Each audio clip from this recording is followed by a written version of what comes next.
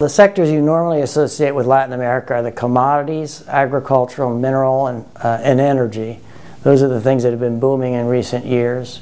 But the, the, the area of the economy that's overlooked, it's just going to become very important, is, uh, is the consumer side of things because a whole new wave of Latin American consumers are, are emerging with the income to purchase cars and appliances and services. Cell phones is a big one, for example. That's one I'd look carefully at. I'd even look at consumer services and also financial services. I think they're going to be important. So that's sort of the ones that are uh, going to be are beginning to come in play and are in, going to be in play in the future. Let's assume you have the basic core business degree with the core courses. So you're competent uh, on the business side. What do you need to be competitive and effective on the Latin American side? Obviously, you need language, and one thinks immediately of Spanish.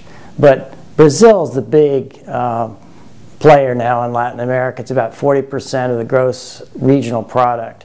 So you need to know Portuguese as well. You need to know these two languages in a business sense to conduct business. So there's business courses, business terminology.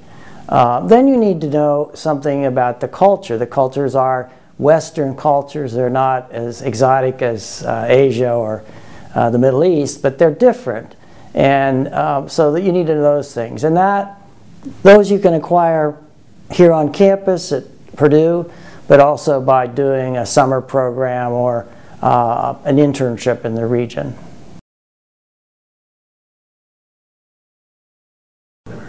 Well, if you think about a student who wants to work in Latin America, for example, there are some barriers. You can't just go down there and work. You have to have a work visa in most countries. And a work visa usually depends on having a job.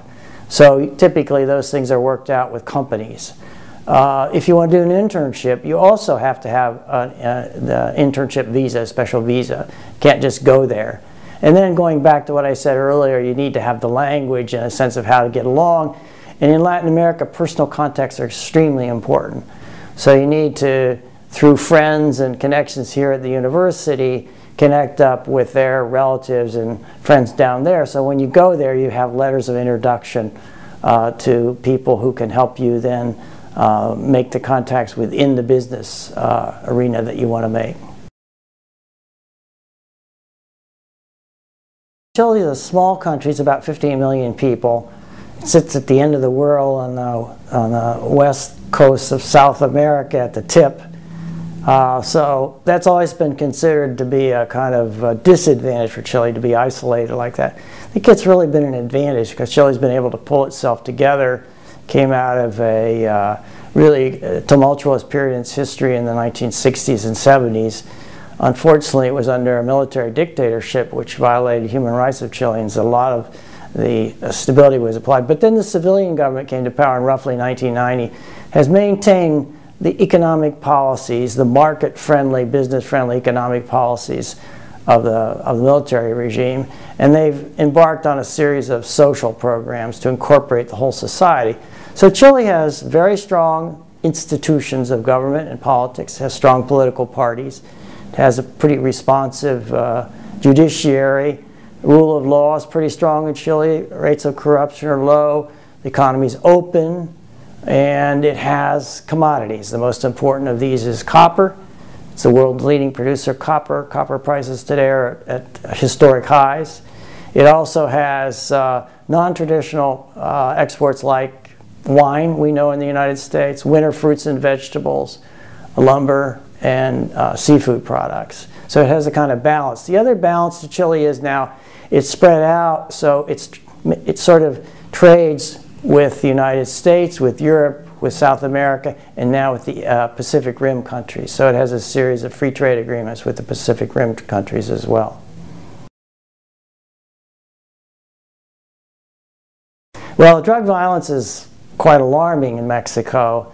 It had been sort of uh, isolated, or the, the business, the international business community had been kind of insulated from this until recently, and now it's beginning to impact uh, international business. Along the border, where a lot of the uh, U.S. companies and other foreign companies are located, the U.S.-Mexican border, and also in the industrial heart of Mexico in the northern city of Monterrey. So people really are, are looking at, carefully at Mexico because it is becoming a dangerous place and companies have to think seriously about that. I would say that thus far it hasn't had a major impact. But this coming year, this year that we're in now, is going to be a real test. The United States has um, three important free trade agreements uh, in uh, force now. It has NAFTA with Mexico and Canada.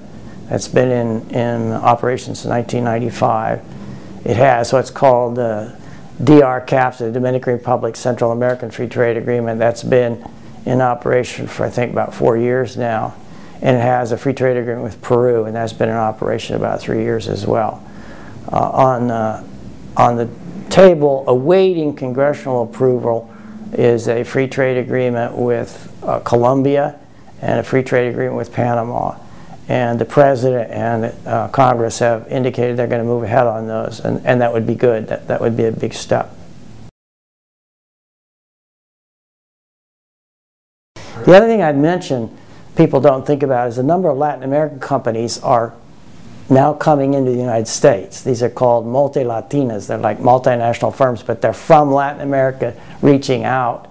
And there are going to be job opportunities there as well as U.S. firms going in the other direction or foreign firms in general going to that region.